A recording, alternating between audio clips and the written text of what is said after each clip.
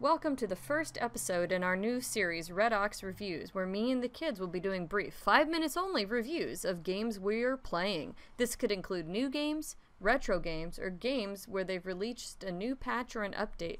And in these reviews, you'll hear from RedAux, Luke, and Shannon, and we'll give you our pros and cons from each point of view, and then a quick summary from RedAux at the end. So for our first review, we're picking the game Cadence of Hyrule.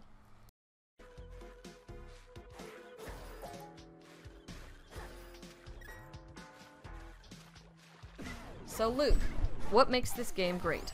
Lots of cheats, different ways to complete your area with different items, uses, uses a lot of your brain to do, uh, well, everything.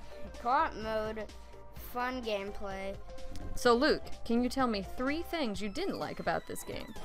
Hopping to the beats takes a really, really, really, really long time. Game is way too easy, including the bosses. It's just a little bit too short. So I asked Shannon the same questions I asked Luke, and she said to the in response to what makes this game great. I like Cadence of Hyrule because it's a good quality game, and I also like playing as Zelda and Cadence in multiplayer, so you don't just play as Link. And I like playing multiplayer with Mom and Luke.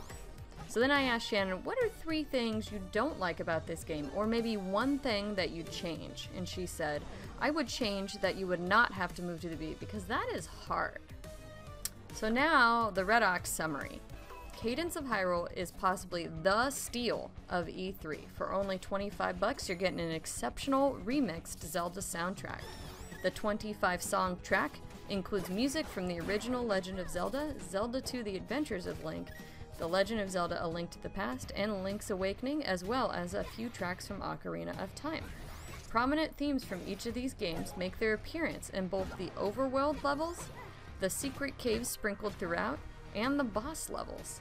The soundtrack alone is fantastic, and even though the game itself is about half the length of its retro inspired predecessors, it plays like a fun and full Zelda quest.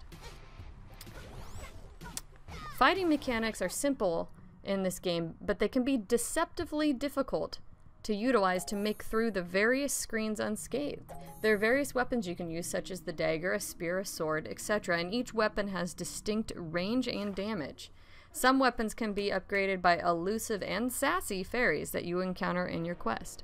Hopping to the beat while fighting, using items, and shielding takes some getting used to, but once you've mastered an offensive pattern, you and a partner can cruise through each randomized screen in your adventure. This game is also very supportive for folks new to the Crypt of the Necrodancer series. With a brief tutorial of how to hop to the beat and use your weapons, you are also able to upgrade your starting character with diamonds after each death.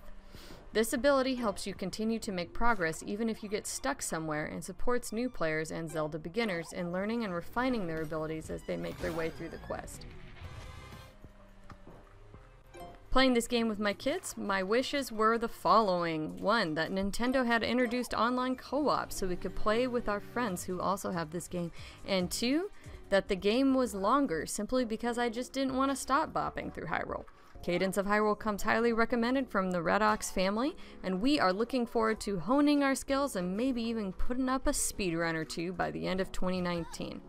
Thank you for watching our first RedAux reviews. Looking forward to further gaming reviews coming soon. If you have a suggestion for a game you'd like us to give a 5 minute or less review to, please post it in the comments section. If you like this video, come and join us in our little community over on Twitch for our family friendly live streams where we play modern and retro content. Thank you for stopping by.